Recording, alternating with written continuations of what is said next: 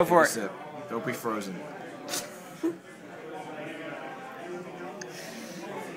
Lauren's first grappa.